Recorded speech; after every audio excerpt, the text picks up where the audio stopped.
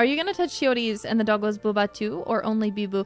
I feel like this is something I have to address. Booba touching is obviously something that you have to get permission for. You can't just go up to people and touch their boobs. Uh, me and Biboo, what you have to understand about our relationship is we we got along right off the bat, like perfectly. Like we we're we, we might seem very different, but like inside, me and Bibu are the same type of person.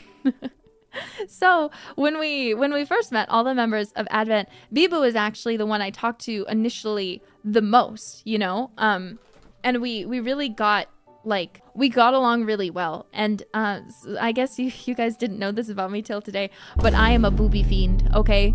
I really i really love to feel uh different breasts in my hands. That sounds so awful.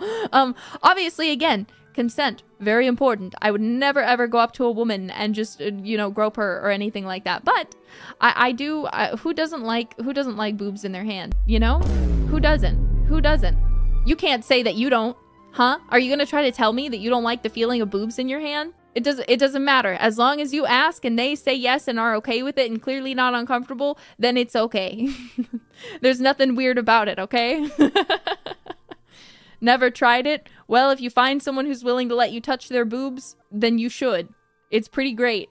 Um, I, I mean, obviously, I have some pretty big boobs too, so they're that you know they're fun to play with. You know, they're they're like little stress balls, and like I only have one pair, but mine are fun, so I want to feel everybody else's too. You know, it's just fun. It's just fun. but again, it's it's a thing you have to ask. You have to ask. So again, I'm gonna state you have to ask. I would never just do that if someone didn't want it. So, um, I'll probably ask Shiori when I see her next. Um, but I, I also, uh, FuwaMoco, I didn't feel like that was something they'd be happy about being asked. So I didn't ask them that. Um, I didn't want to potentially make them. Me and FuwaMoco are pretty close, but I, I didn't feel like we're that close yet. you know what I mean? So I, I didn't ask FuwaMoco when we met, and I haven't had a chance to ask Shiori yet. But I'm pretty sure uh, Shiori would be willing to swap swap feel boobies with me, maybe. But I'm not sure about FuwaMoco. I'm too scared to ask them. I don't want them to be like, "You're disgusting, Nerissa." but maybe, maybe someday.